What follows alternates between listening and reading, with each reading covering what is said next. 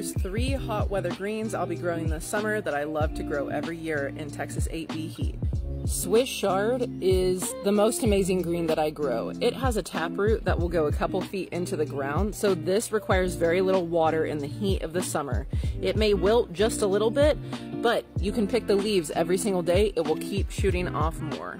It's absolutely delicious, cooked up with some garlic or bacon in the skillet. Tuscan Dino or Lacinato kale grows like a literal tree and with a little bit of a shade cloth will go all summer for me. These are amazing, just rub gently with some acid, salt, and olive oil to make a beautiful summer salad. Sweet potato greens grow prolifically in the hottest part of the summer. They are just like a spinach, they are tender and delicious and extremely good for you.